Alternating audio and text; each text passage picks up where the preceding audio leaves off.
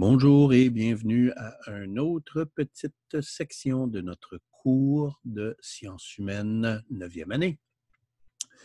La section ici, c'est sur les élections et le vote. Comme je dis, c'est le temps de voter. pas encore, mais ça s'en vient peut-être. Peut-être par le temps que vous écoutez ça, peut-être que ce sera le temps de voter. Ça va vous permettre de comprendre qu'est-ce qui se passe. Qu'est-ce que c'est une élection? Une élection, c'est un événement qui sert à choisir un leader d'un groupe ou d'un gouvernement. C'est aussi une forme de communication entre le peuple et son gouvernement. Si tu n'es pas content de ton gouvernement, tu ne vas pas voter pour. Si tu es content ton de ton gouvernement, tu vas voter pour. C'est comme ça que ça fonctionne. Et c'est un événement qui arrive à tous les cinq ans maximum, dépendamment. Maintenant, on a des, temps fixes, on a des dates fixes pour les, euh, les élections, mais ça n'a pas toujours été comme ça.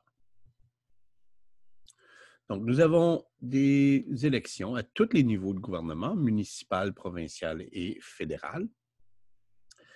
Les élections, c'est un processus qui permet aux citoyens d'exprimer leur accord ou désaccord avec le gouvernement au pouvoir ou simplement changer leur représentant. Peut-être que tu n'es pas content avec la personne qui représente dans ton comté, dans ta circonscription. Tu vas vouloir avoir quelqu'un d'autre. Parce que tu dis, cette personne-là ne fait pas un bon travail. Donc, toi, c'est toutes des raisons. Qui s'occupe des élections? Bon, au niveau municipal, les municipalités ont une charte constitutive, guidelines, qui est généralement supervisée par la province. Donc, la province dit Ah oui, OK, tu peux, tu peux pas, etc. Au niveau provincial, dans chaque province, il y a un organisme non partisan qui n'est pas influencé et ne supporte aucun parti politique. Donc, c'est des personnes qui sont neutres. Au Nouveau-Brunswick, cette organisation-là, c'est Élection Nouveau-Brunswick au Canada, au niveau fédéral, c'est Élections Canada qui fait ce travail-là. Et ces organismes-là protègent les personnes qui votent pour que leurs droits soient respectés et qu'ils puissent aller voter librement. Donc, il faut que tout le monde qui a le droit d'aller voter puisse aller voter sans problème. Et ces organisations-là font sûr de ça. Le recensement et les recenseurs. Le recensement, qu'est-ce que c'est? C'est un processus qui liste toutes les personnes qui ont le droit de voter. Les recenseurs sont des personnes engagées pour faire, euh, cette liste de toutes les personnes qui ont le droit de voter. Ils doivent aussi ajouter tous les nouveaux électeurs, par exemple, tous les jeunes de 18 ans les personnes qui viennent de déménager, les immigrants qui sont devenus canadiens. Donc, ils vont ajouter ces personnes-là ou ils vont enlever le nom des personnes qui sont décédées. Une personne qui est décédée ne va pas voter. Et ou les personnes qui qui sont plus au Canada, les personnes ont déménagé, sont parties du Canada, ben c'est ça. Donc, pour toutes ces raisons-là, on va enlever les personnes de la liste les recenseurs trouvent leur information de plusieurs façons. ils regardent les rapports d'impôts. Ah, OK, donc la personne ici travaille, ici euh, paye des impôts, etc. Ils vont regarder les permis de conduire, ceux qui ont des permis de conduire, et même vont de porte à porte pour remplir les fiches d'information. Donc, ça arrive des fois que les personnes se promènent. Quoique ça, ça arrive de moins en moins souvent, parce qu'on a beaucoup d'autres technologies maintenant qui nous permettent de pas devoir faire ça, mais ça peut aussi être fait dans certains endroits. Comment ça marche une élection? le jour de l'élection, le candidat qui reçoit le plus de votes dans sa circonscription est élu. Le candidat élu reçoit un siège au Parlement pour représenter sa circonscription. Donc, il y a juste un certain nombre de sièges, puis tu as été élu, donc tu vas l'avoir. Le parti politique qui gagne le plus de circonscriptions forme le gouvernement. Et le leader de ce parti devient le premier ministre. C'est comme ça que ça fonctionne. Le droit de vote est protégé par la Constitution canadienne. Personne n'a le droit de vous enlever ce droit à cause de votre ethnie, religion ou sexe.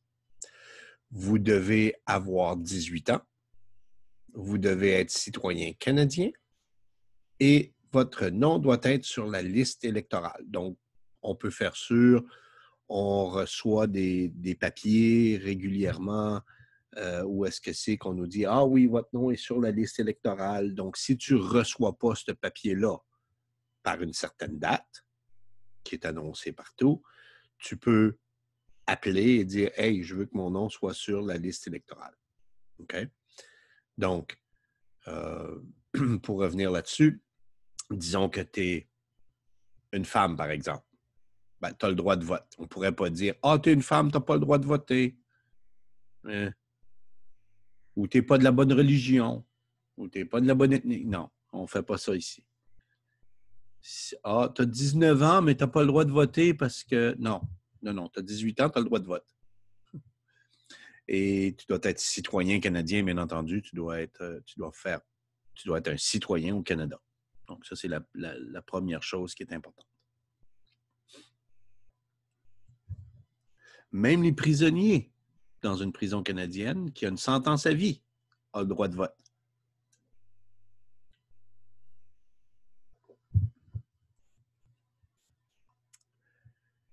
Où est-ce que je dois aller? On a qu'est-ce qu'on appelle les bureaux de scrutin qui sont, euh, qui sont prêts le jour de l'élection. Tu vas voir ces affiches-là comme ça, là, les affiches jaunes comme ça. Ces affiches-là disent c'est là que tu dois aller voter. Il y a différents endroits dépendamment où est-ce que tu es. Et sur la carte que tu reçois, ils te le disent où est-ce que tu peux aller, tu as l'adresse et tout.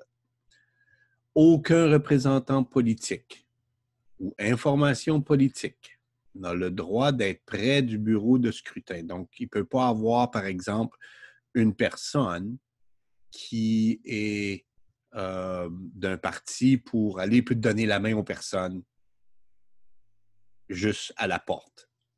Ça pourrait trop influencer le vote et ils n'ont pas le droit de faire ça.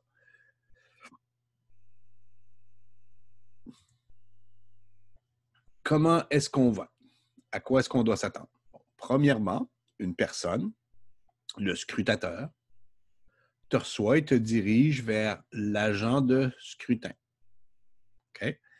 Et tu lui montres ta carte d'électeur, donc la carte que tu as reçue par la poste. Après avoir trouvé ton nom sur la liste électorale, il enregistre ta présence dans le registre de scrutin. Ça, ça il fait juste comme barrer ton nom dire, OK, il est ici, il est venu, il a voté. Et finalement, le scrutateur te donne un bulletin de vote plié en deux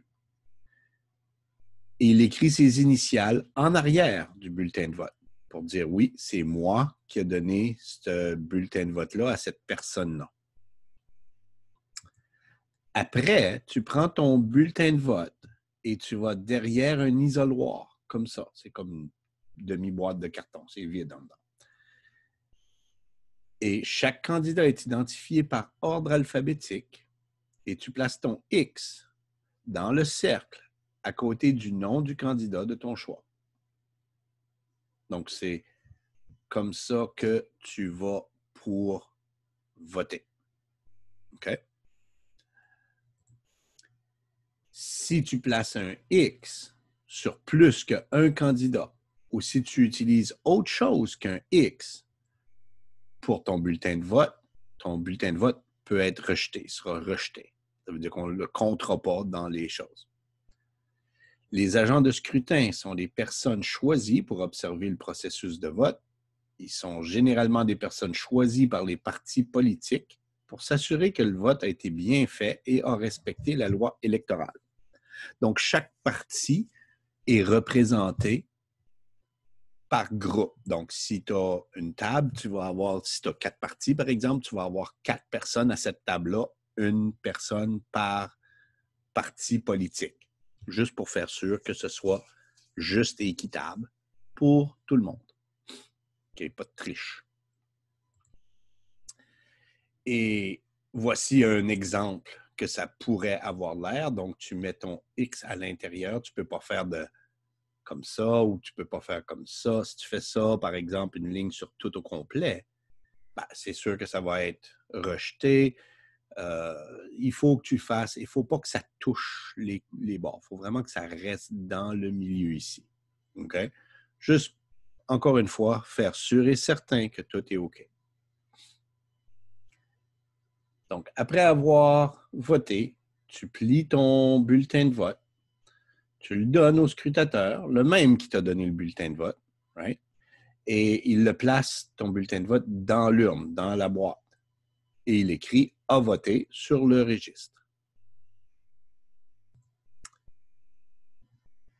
Fermeture des bureaux de scrutin. Quand le vote est terminé, on ferme les portes et le décompte se fait. Donc, on compte le nombre de personnes qui ont voté.